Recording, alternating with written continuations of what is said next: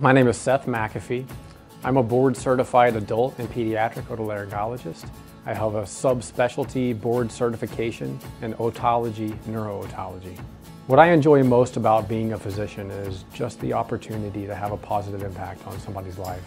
When I encounter a patient for the first time, uh, my goal is to have an understanding of what brings them in, have an understanding of the problems that bring them to the office so that we can solve those problems together. Coastal really has created university level care and taken it out of the big city and placed it in the community.